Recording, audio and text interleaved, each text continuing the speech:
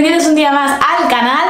Hoy os traigo un vídeo que os he dado bastante la tabarra por Instagram, que por cierto si no me seguís os lo dejo por aquí abajo. Y es un vídeo que se está haciendo bastante famoso, viral por YouTube, que se llama Suposiciones sobre mí. ¿Y en qué consiste este vídeo? Bueno, pues la idea es que yo os dejé por stories eh, una cajita donde podíais escribirme cosas que pensarais de cómo soy, de manías que tengo, de cómo era de pequeña, eh, no sé, mm, suposiciones que tuvierais sobre mí para eh, un poco, pues, no sé, conocerme un poquito más y salir de lo típico de preguntas y respuestas. Bueno, ya tengo todas las suposiciones que me habéis hecho, así que luego las leeré. Y sí que antes de empezar quería recordaros, por si es la primera vez que estáis en el canal y acabáis de llegar, que tengo otro canal, un canal de vlogs, que donde subo pues, esos vídeos más informales de lo que hago con mis amigos, con mi familia, mi, mi, día a día, que os lo dejo por aquí arriba por si queréis golismear. Y nada, que espero que os guste mucho el vídeo, que por lo menos entretenga y os haga pasar un buen rato. Y nada, vamos a empezar. Pues tengo aquí las suposiciones que habéis hecho sobre mí, así que nada, voy a, voy a empezar a leeros. Que eres una chica muy exigente con todo lo que te propones. Pues la verdad es que sí, en ese sentido sé que habéis acertado, porque soy muy exigente conmigo misma y con los demás, cuando les pido ayuda o cuando necesito a alguien de los demás. Y eso, a ver, por una parte a veces es bueno porque al final el exigirte tanto o el ser tan exigente pues te hace ser muy perfeccionista y, y querer hacer las cosas lo mejor posible, pero también a veces es un poco negativo contigo misma porque me frustro mucho. Muchas veces yo tengo miles de cosas en la cabeza, miles de ideas o miles de, de, maneras que yo tengo en mi mente de cómo quiero hacer las cosas y cuando no lo consigo porque a veces o yo misma no puedo eh, o por tiempo material o por cosas ajenas a mí me es imposible, me frustro muchísimo y llevo muy mal eh, el no conseguir hacer las cosas como yo tengo en mi mente.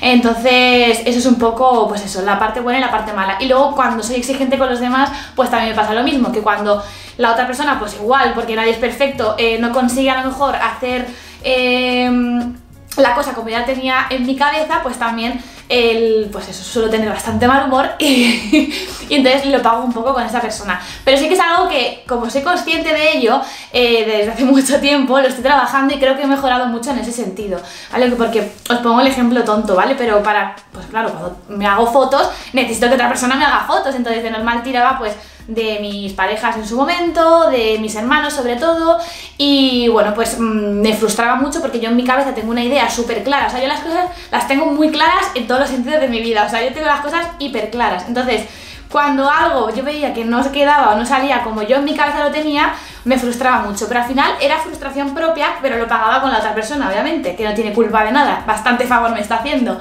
Y sí que os digo que de verdad que de un año para acá lo he mejorado muchísimo, de hecho mm, no recuerdo mm, la última vez que discutí con nadie por hacerme fotos, estoy muy orgullosa en ese sentido. trabajas muchas horas y tienes poco tiempo libre. Bueno, esto yo creo que no es una suposición, sino que es algo bastante obvio, porque lo digo siempre, la gente que me sigáis en los blogs o que me sigáis por Instagram y veáis, y veis mis, mis stories, creo que es bastante evidente que, que sí, que trabajo muchas horas y tengo muy poquito tiempo libre, muy poco. Lo intento gestionar al máximo, eso sí, pero es verdad que me faltan muchísimas horas en el día para poder hacer todo lo que quiero hacer. Y sí, totalmente cierto. que eres muy sociable. A ver, sí que soy muy sociable. Eh, vamos, me gusta hablar por los codos, o sea, me enrollo como las persianas, eh, cojo confianza muy rápido. Mm, o sea, no me cuestan, eh, pues eso, contar mis cosas y tal cuando cojo confianza con, con las personas. Pero también es cierto que de primeras em, soy muy tímida, muy muy vergonzosa, o sea, no sé si al contrario de lo que mucha gente piensa o, que puede pensar pues por tener un canal o subir fotos en Instagram, soy muy muy vergonzosa, yo nunca le digo a nadie que tengo canal, ni que tengo Instagram, ni nada. Em, y de primera sí que es cierto que puede parecer por esa timidez que tengo que soy prepotente o que soy altiva o que soy borde. Porque me ha pasado, de hecho con mi amiga Vicky, mm, cuando ella me conoció en el instituto, eh, tenía esa, apariencia o esa imagen de mí. Y luego cuando nos conocimos realmente y nos empezamos a hacer amigas en un viaje que hicimos de fin de curso, eh, pues todo lo contrario, ¿no? Se llevó una sorpresa y vio que no era así. Y es porque yo al final tengo esa apariencia de primeras como muy seria, como muy seca, pero es por pura vergüenza y no porque me crea nada, todo lo contrario. O sea, yo en ese sentido puedo ser muchas cosas, pero no soy ni prepotente, ni creída, ni nada.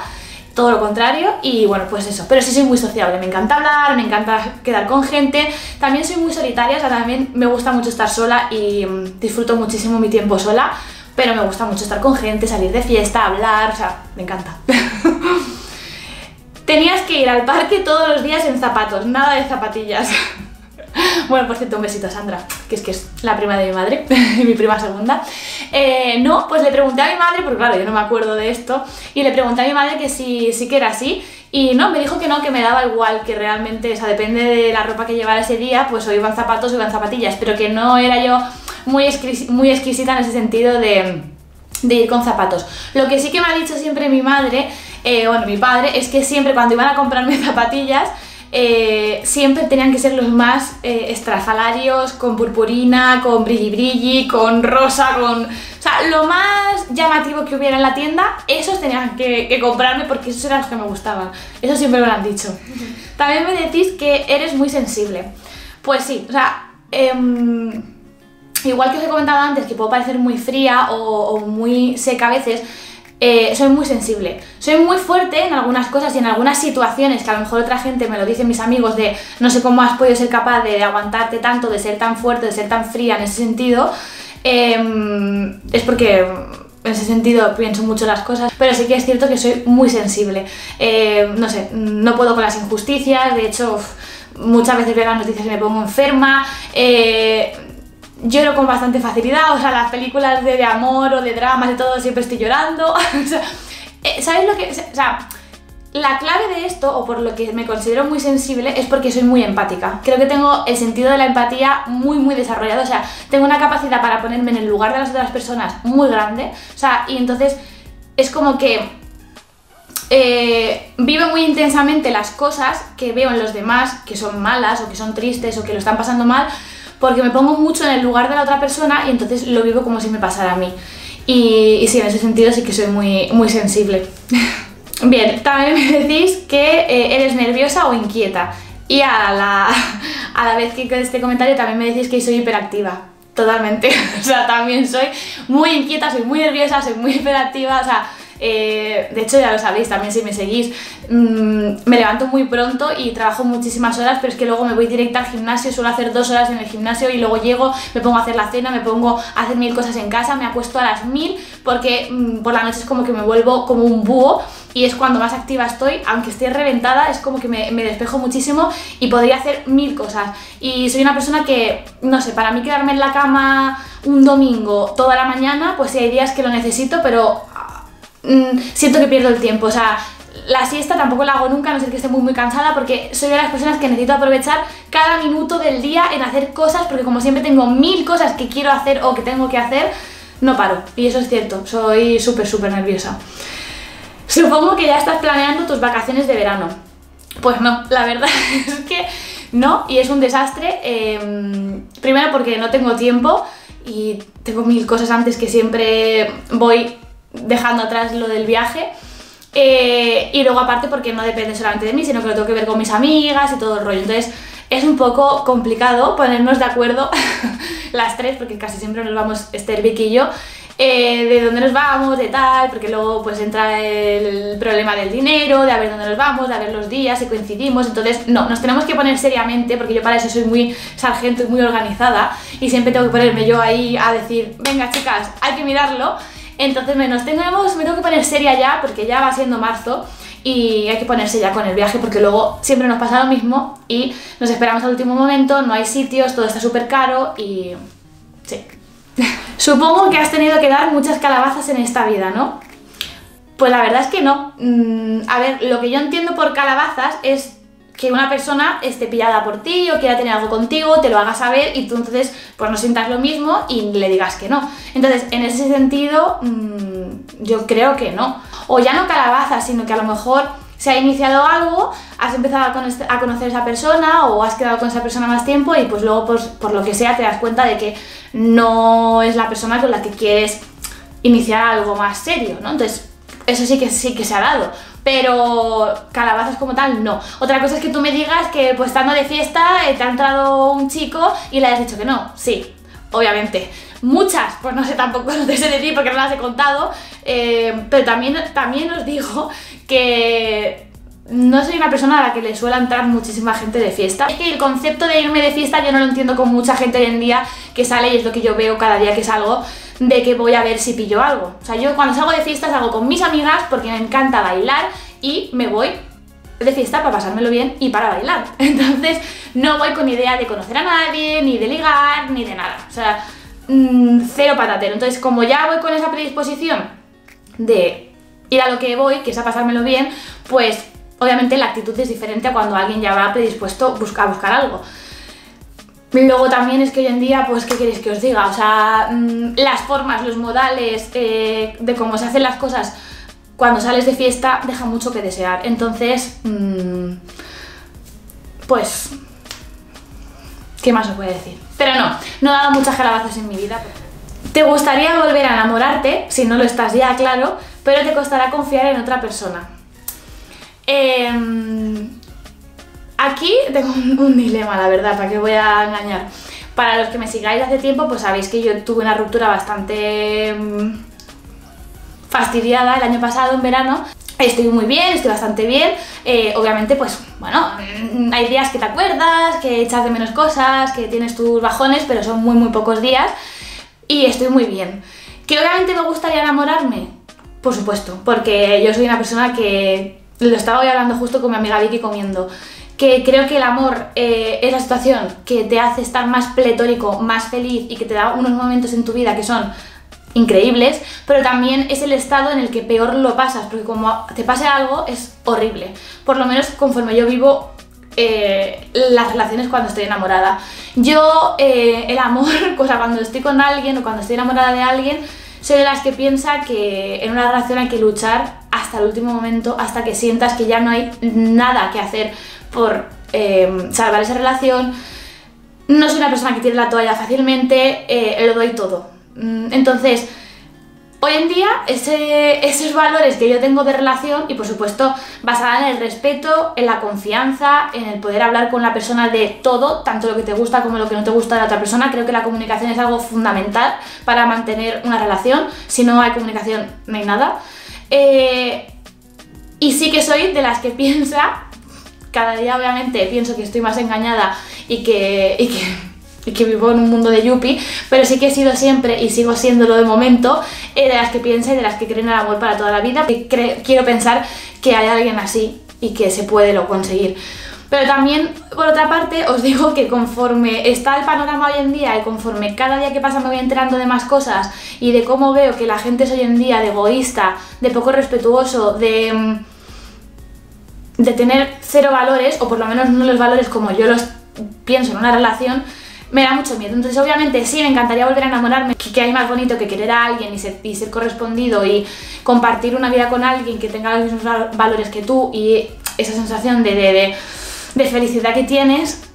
Pero, obviamente, mm, me da mucho miedo, primero porque no veo que haya gente que tenga los mismos valores que yo para tener una relación.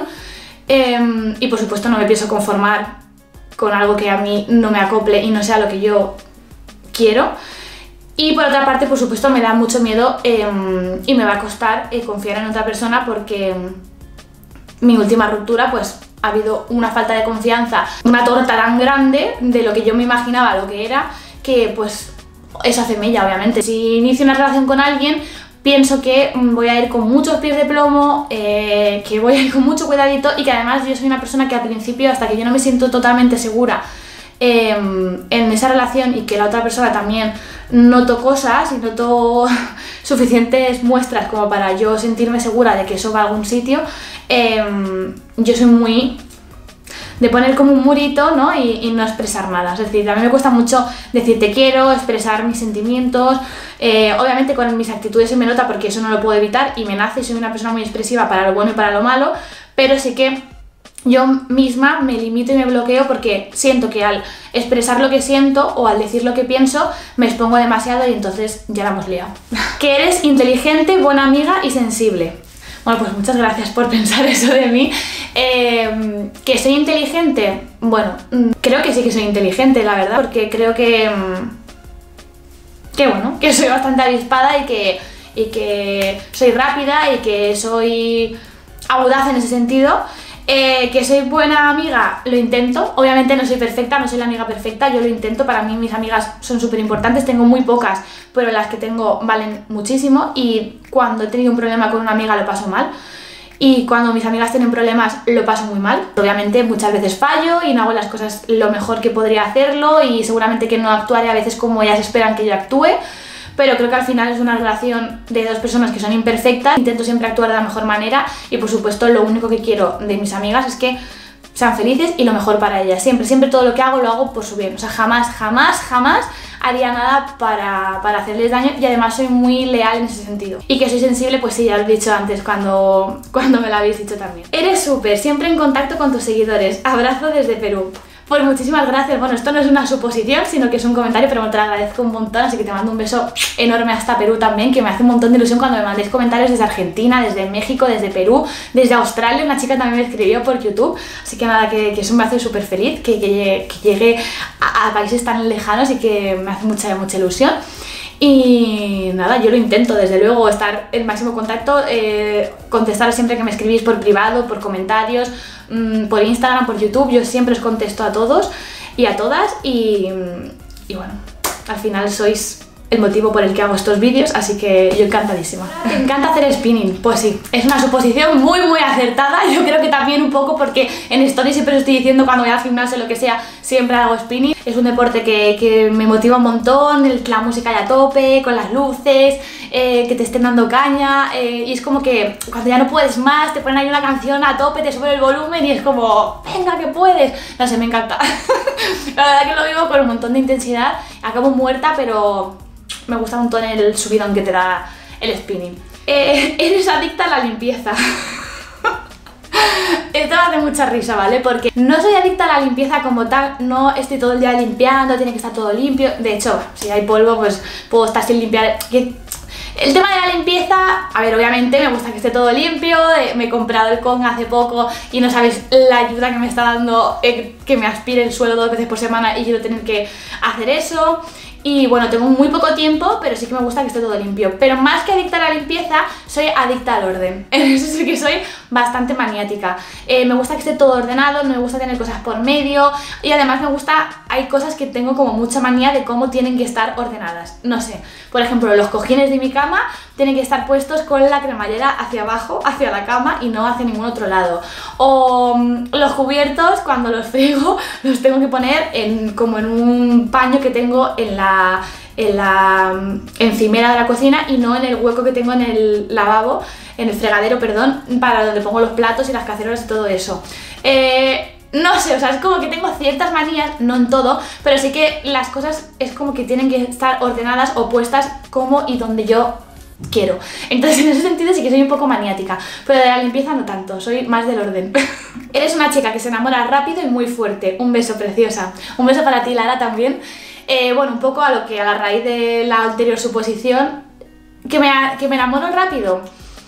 A ver, es que solamente me he enamorado dos veces en mi vida, entonces que han sido mis dos relaciones largas. La primera no me enamoré tan rápido, sí que me gustaba y tenía como esa cosilla, pero no enamorarme, o sea, me enamoré a posteriori, pues a lo mejor a los meses de, ya estar con esa persona quedando en serio. Y, pero sí que me enamoré muy fuerte. O sea, cuando me enamoré, cuando me enamoro, o sea, por lo menos las dos veces, las dos experiencias que he vivido, obviamente, no sé, porque hay muchas formas de enamorarse, eh, sí que me enamoré muy fuerte. Y en mi segunda relación me enamoré hiper rápido, hiper, hiper rápido, eso sí que es verdad, o sea, fue como, ¡fum! O sea, un flechazo. No, no la primera vez que lo vi, porque la primera vez que lo vi que nos conocimos, mmm, tampoco me re que encantó, la verdad, o sea, bueno, me pareció atractivo, me pareció mono y tal, pero bueno, tampoco le di importancia. Pero luego sí que la primera vez que quedamos, eh, porque lo conocí de fiesta, eh, sí que me mega encantó, o sea, fue como, y ya a partir de ahí o sea, sin parar. La verdad que sí que me, me, enganché muy rápido, me enamoré muchísimo y además ha sido la vez que más me he enamorado en mi vida de la manera más intensa y, y, brutal. O sea, de hecho a mí ahora lo que me pasa es que pues eso, tengo ese miedo de que no sé si me volveré a enamorar alguna vez como me enamoré la última vez. Pero bueno, al final lo que siempre pienso es que hay mil formas de enamorarse y que no tiene que ser una mejor que la otra. Y de hecho incluso pienso que por qué esa forma de enamorarme tiene que ser la mejor. Porque también veo sus contras. Es decir, al final cuando te enamoras tan rápido de una persona, cuando todavía ni siquiera la conoces, em, y te enamoras tan fuerte, idolatras muchísimo a esa persona, eh, la tienes como en un pedestal, todo lo ves fantástico, esa persona la admiras eh, y claro, todo eso te lleva a no ver otras cosas que están ahí, que las tienes delante de tus narices, que la gente de tu alrededor lo está viendo, pero que tú como estás tan tan enamorada y a la vez cegada, que es lo que tiene el amor también, no lo ves, no lo ves y las dejas pasar, las justificas en tu mente con mil historias que te pones para pensar que eso va a cambiar. Eh, entonces creo que bueno, fue una forma de, enamorarme muy intensa. Reflexionando al final te das cuenta que no tiene por qué ser la mejor manera y que a lo mejor es mejor eh, conocer a la persona más poquito a poco y no enamorarte tan de sopetón. Y cuando esa persona realmente ya conoces bastante de ella y realmente crees que es una persona que te puede aportar como para tener una relación con él y compartir tu vida, adelante, ¿sabes? Entonces ya pero siempre, no sé, enamorarte, pero siempre sin perder esa objetividad y sin perder la visión de lo que realmente es y de lo que realmente son las cosas para luego no llevarte el chasco que te puedes llevar. y hasta aquí el vídeo de hoy, espero que os haya gustado, que os haya entretenido, que hayáis pasado un buen rato por lo menos y que me hayáis conocido un poquito más. A mí me ha gustado mucho hacerlo porque me ha gustado saber también qué cosas tenéis en la cabeza o qué ideas teníais, teníais sobre mí y me ha resultado muy curioso, así que nada, que espero que, que os haya gustado, que os haya entretenido y que no olvidéis de suscribiros al canal para no perderos ningún vídeo y pronto, pronto, pronto el house tour porque os adelanto, me llega el lavavajillas esta semana y me llega eh, el store de mi habitación, que era el último que me faltaba de cortinas, esta semana también. Así que nada, ya no queda nada y en breve, breve, breve tendréis el house tour, así que suscribiros para no perderoslo y nada, que nos vemos en el siguiente vídeo. Un beso enorme.